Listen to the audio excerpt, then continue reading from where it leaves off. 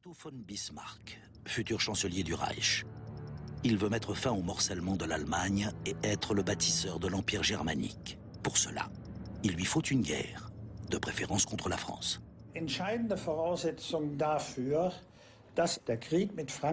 Pour que la guerre contre la France devienne une guerre d'unification nationale en Allemagne, il était impératif que l'offensive ne vienne pas de la Prusse, du moins en apparence. La Prusse veut être attaquée.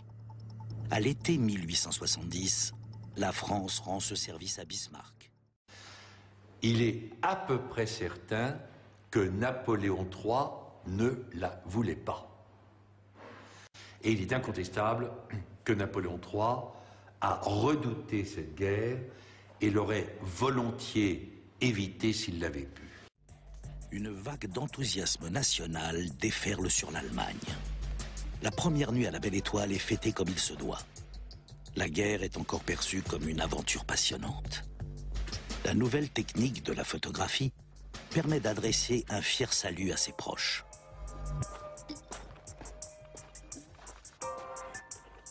Les petits États allemands se solidarisent sous le coup de la déclaration de guerre de la France à la Prusse. Pour la première fois, Bavarois, Saxons, Wurtembergeois et Prussiens partent ensemble au combat, côte à côte, contre l'ennemi commun.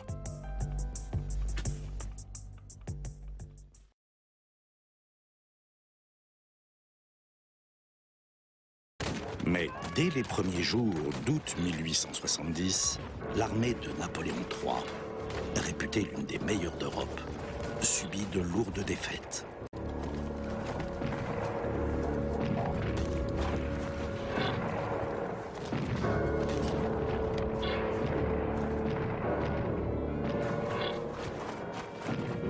De bataille en bataille, l'armée française est repoussée toujours plus loin à l'intérieur de nos frontières.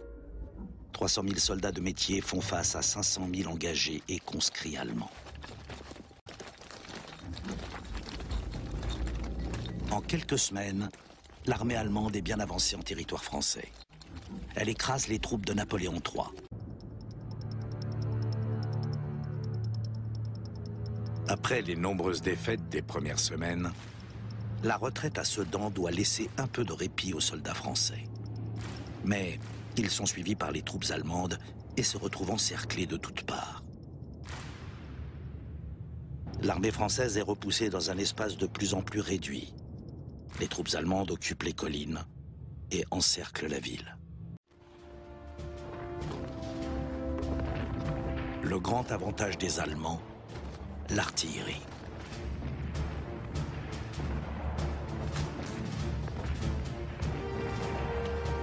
Sedan est pilonné de toutes parts. Plus de 400 canons grondent sur le champ de bataille.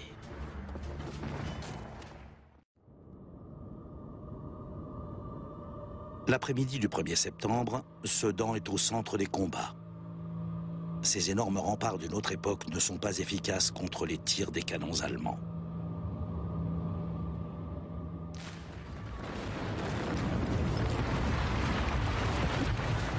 Près de 100 000 soldats cherchent refuge dans une ville qui ne compte que 18 000 habitants.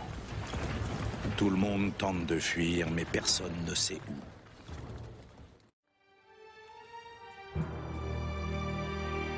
Napoléon III sait que tout est perdu. Seul, sur son cheval, il cherche la mort dans la bataille. En vain. À 16h30, il donne l'ordre de hisser le drapeau blanc et demande par écrit au roi de Prusse d'arrêter les combats. C'est un messager qui apporte la lettre au quartier général ennemi. À 17h, les Allemands cessent le feu.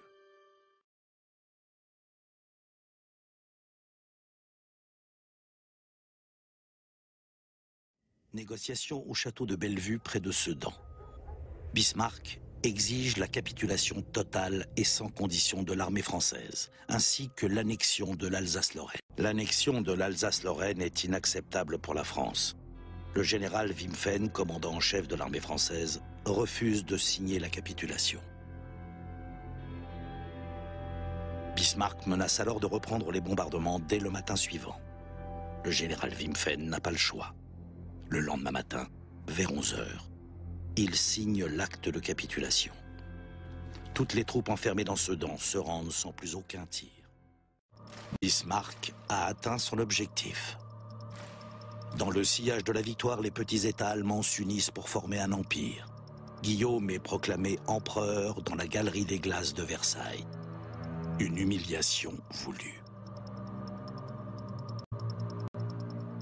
Une réconciliation avec la France n'est pas envisageable avant bien longtemps.